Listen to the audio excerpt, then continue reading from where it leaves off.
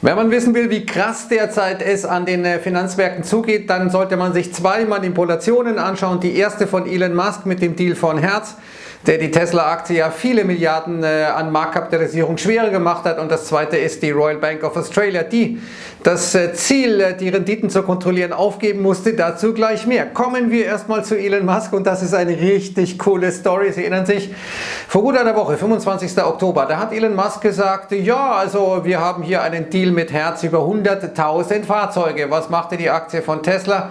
Boom, sie schoss nach oben.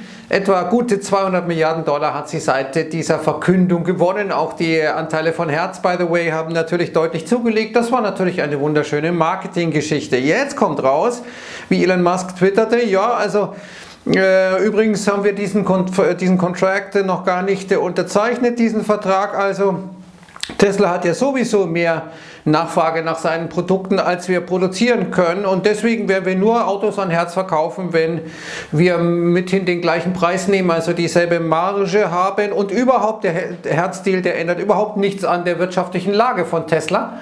Was? Wir haben jetzt über 200 Milliarden an Marktkapitalisierung dazu gewonnen und das ändert nichts, weil das Ganze vielleicht ein ganzer Fake ist, ein Betrug ist, eine Manipulation ist. Das ist die große Frage. Jedenfalls ist es total unsauber. Warum sagt Elon Musk erst jetzt?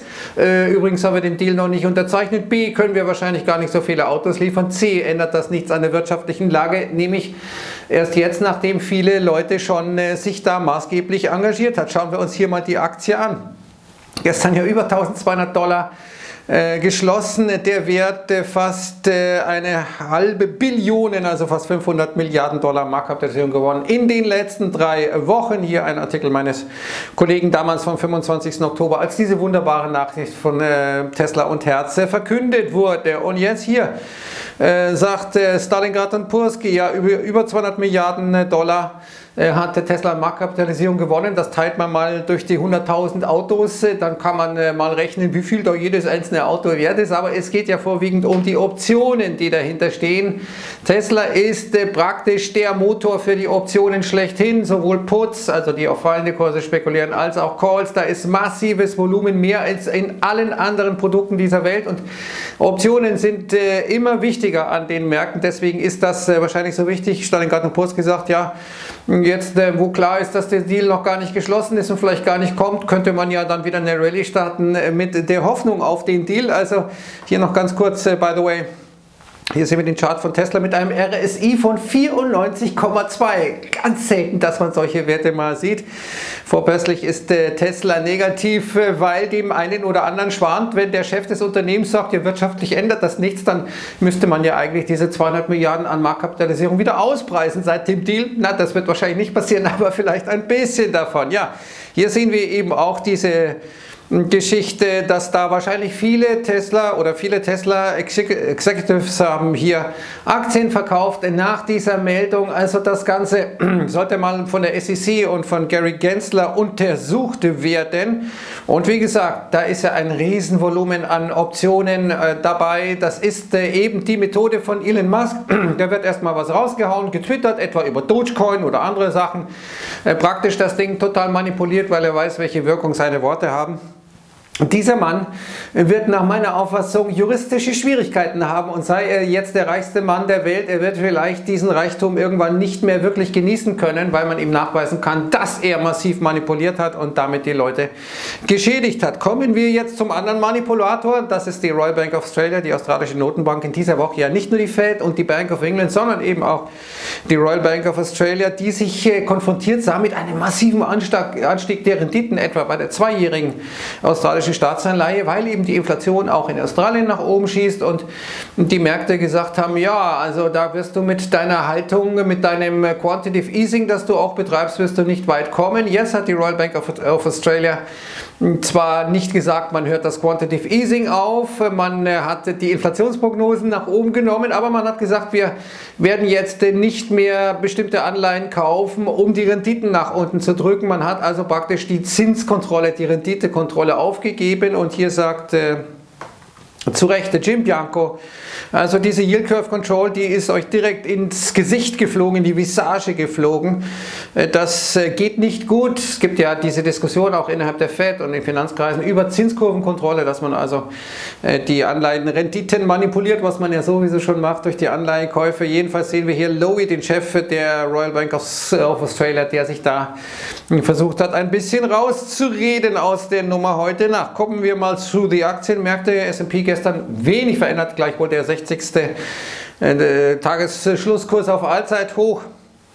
Bewegung vor allem bei den Small Caps, die sind massiv äh, gestiegen. Hier sehen wir ziemlich hohe RSI, wir sind nach wie vor trotz einem äh, Allzeithoch nicht wieder in diesem Trendkanal drin. Das Ganze folgt relativ eindeutig den saisonalen Mustern bisher. Äh, möglicherweise kommt da jetzt so ein kleiner Ausruhr. Das äh, wäre zum Beispiel in diesem Seasonal Pattern sichtbar. Aber schauen wir mal, gucken wir den WIX an. Der hat höhere Hochs und tiefere äh, und höhere Tiefs gemacht, wie wir hier sehen. Die Frage ist, bricht er jetzt durch diese Wedge durch? Also die Volatilität. Unten sehen wir den Nasdaq auch mit einem sehr hohen RSI, gestern übrigens wieder miserables Volumen an den Märkten, äh, sehr, sehr dünn. Nasdaq, ähm, wir sehen hier also äh, da ist ein neues Allzeithoch, aber das wird jetzt immer langsamer, dieser Anstieg. Also die Frage ist, was wird da jetzt passieren? Gestern ja Dow Jones auf 36.000 Punkten. Und damals im Jahr 2000, das ja so viel Ähnlichkeit hat mit dem Jahr 2021. Hier eine schöne Grafik dazu. Damals 2000 äh, haben viele noch gerufen, Irrational Exuberance, also irrationale Übertreibung. Jetzt äh, werden die Fanfaren geblasen. Hurra, 36.000. Dieses Buch hat prognostiziert, prognostiziert, dass es in sehr kurzer Zeit, damals im Jahr 2000, soweit sein wird. Naja, immerhin musste man 21 Jahre warten. Wie geht es jetzt mit der Wirtschaft weiter? Bloomberg hat neue Indikatoren entwickelt, die zeigen, dass diese ganzen Lieferengpässe, Materialmangel etc.